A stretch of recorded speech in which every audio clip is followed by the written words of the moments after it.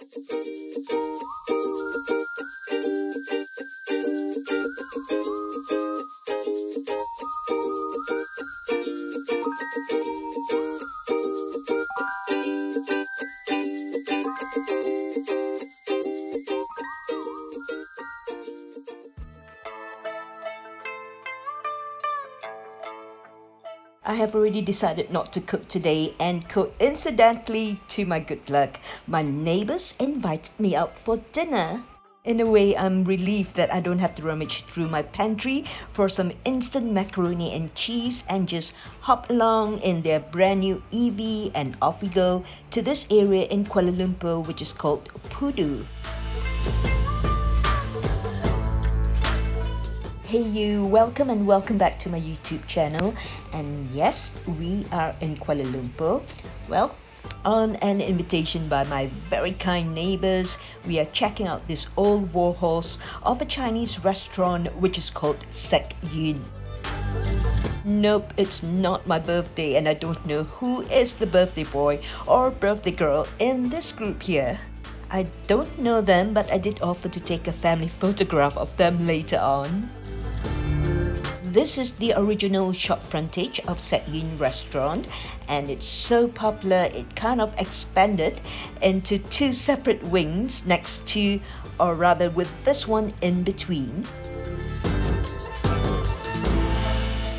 Sek Yuen is one of the oldest restaurants existing in Kuala Lumpur.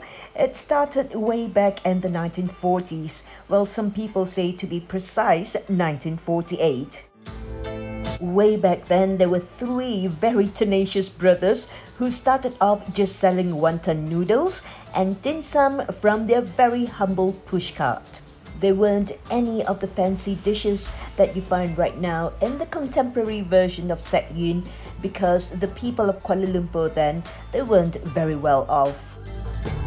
Take for example this dish and this would have been a real luxury for the people of Kuala Lumpur way back then and this is shark's fin with eggs. I'm not so much into it. Honestly, not so much because of the shark's fin, but simply because I don't like eggs.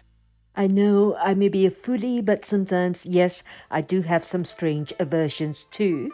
We were told that this is one of their signature dishes, this shark's fin with eggs. I hear you now asking, how do you eat this? Well, you can either top it up onto your steaming hot bowl of rice or you may simply roll them up in a big lettuce leaf. And for our intake of fiber, we have the dish on the bottom right.